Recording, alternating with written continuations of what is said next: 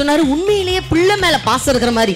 என் மேலேயும் உனக்கு பாசம் இருந்திருந்தா என்னையும் நீ பக்கத்து வீட்டு பத்து மாட்டை விட்டுட்டு போயிருப்பலன்னு சொல்றாரு.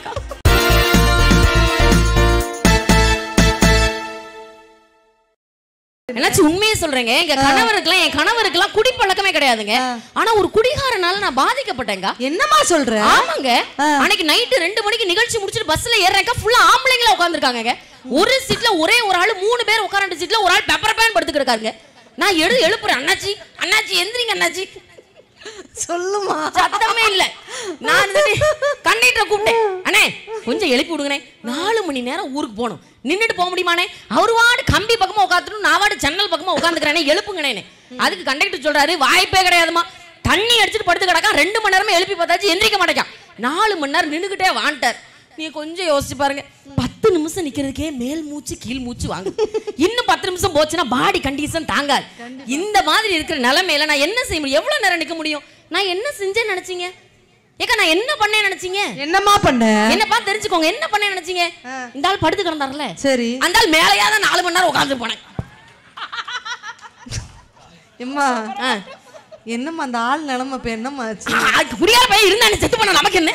நாட்டுக்கு நல்லது தானேங்க அன்னைக்கு சொல்றேன் எவ்வளவு ஆணவங்க குடியாரங்களுக்கு ஆக மொத்தம் உங்களை பட்டிமன்றத்துக்கு ஒரு ஊருக்கு கூப்பிட்டா நாலு பேர் இந்த மாதிரி போட்டு தள்ளிட்டு வர நீ ஆமா ஊருக்கு ஆகாதது வீட்டுக்கு ஆகாதது தேவையில்லையா நான் சொல்றேன் அண்ணாச்சி குடிச்சு குடிச்சு உடம்ப கெடுக்காதீங்க அண்ணாச்சி. குடி குடியை கெடுக்கும் அப்படிங்க. அதுக்கு அந்த ஆளு சொல்றாரு. என்னது குடி குடியை கெடுக்குமா? நாங்க குடிக்கலன்னா கவர்மெண்ட்டே படுக்கும்.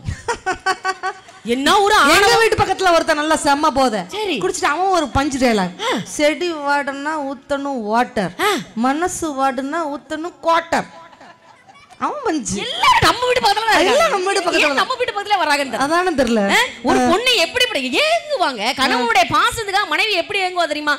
ஆத்தங்கர ஓரத்துல அந்தி சாயும் நேரத்தில அத்த மகனியும் அங்க அருமை ஏங்க கணவன்னா எப்படி இருக்கணும்? எவ்வளவு பாசமா இருக்கணும்? எப்படி நடந்தா ஹீரோ மாதிரி நாங்க பாப்போங்கிறதுக்கு உதாரணம் எங்க கணவர் தான். பாத்தீங்களா? நான் ஒரே ஒரு ரெண்டு இதை சொல்லி நான் முடிச்சிடுறேன். என் கணவருக்குலாம் என் மேல ரொம்ப பாசங்க. இந்த மாதிரி இந்த ஊர்ல இருக்கிற ஆண்கள்லாம் இருந்துட்டீங்கன்னா உங்க மனைவி உங்களை ஹீரோவா பாப்பாங்க. என் கணவர்லாங்க இத்தனை வருஷம் ஆச்சுங்க. மனுஷனை தனியா எங்கேயுமே அனுப்ப மாட்டாரு அண்ணாச்சி. உன்னையம்மா ஆமா இன்னைக்கு கூட நீங்க எல்லாம் இருக்கீங்கன்னு நீ தானே நாலு பேரை போட்டு தள்ளிட்டு வரல மேலே. அப்படியெல்லாம் சொல்லாதீங்க. அவருக்கு அந்த உண்மை தெரியாது இல்லையா? ஏமா உன்னை தனியா அனுப்ப மாட்டாரு? அனுப்ப மாட்டார். ஏன்? ஏன் தெரியுமா அண்ணாச்சி ஏன்? தெரியுமா? ஏன் தெரியுமா? ஏமா நான் அழகா இருக்கிறதுனால எனக்கு அடத்திடுவாங்களா? என்ன பண்ணுவேன் ஓ மை காட் கிளம்பு கிளம்புமா எங்க? ஐயா நாங்களுக்கு பேமெண்ட் கூட வேண்டாங்க இதுக்கு மேல என்னால இருக்க முடியும் இல்ல பொறுமைக்கு ஒரு எல்லை உண்டு நான் கிளம்புறேங்க. இல்ல பதினொன்றரை மாசம் பிடிக்கணுமா வேண்டாமா? அதை சொல்லிட்டு தான் எஸ்கேப் ஆகி போயிடலாம்னு பாக்குறேன் நானு.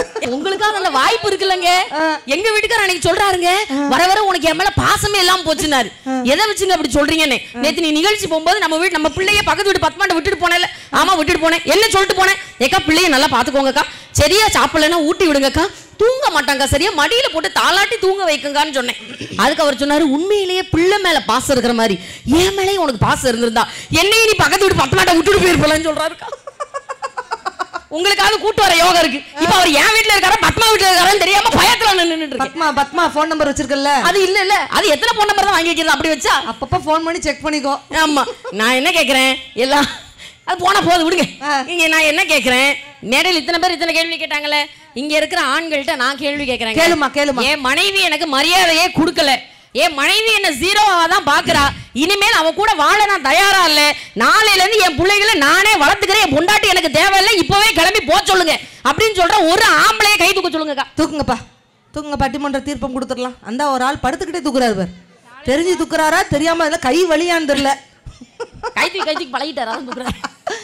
பாத்தீங்களா இல்ல இல்ல? யாருமே இல்லையே. இல்ல இல்ல. நடுவர் அவர்களே என்னதான் நீங்க ஏன். அவங்க எல்லாம் கை தூக்காம இருக்காங்க? ஏன்? ஏன்னா வீட்டுக்கு போய் பொண்டாட்டிட்டு அடி வாங்கணும்.